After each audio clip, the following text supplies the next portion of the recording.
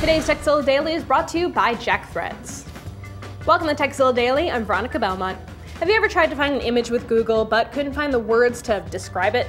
Well, today I have a tool to help you search by drawing. Just visit searchbydrawing.franzenzenhofer.com. Draw any image into the white box using the color palette below and the drop down menu to choose your brush size. You can even drag an image from your computer into the box or use your webcam to capture your own picture and then draw on top of it. Once you're done, click Search by Drawing, and Google will search for similar images.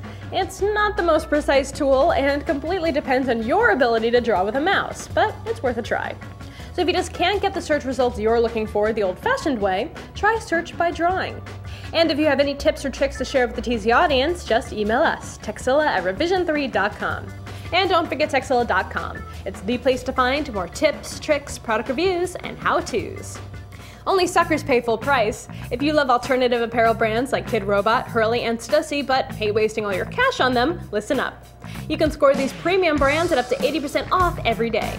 There's a new invite-only shopping club just for guys called JackThreads, serving up street, skate, and surfer brands at prices that will melt your brain.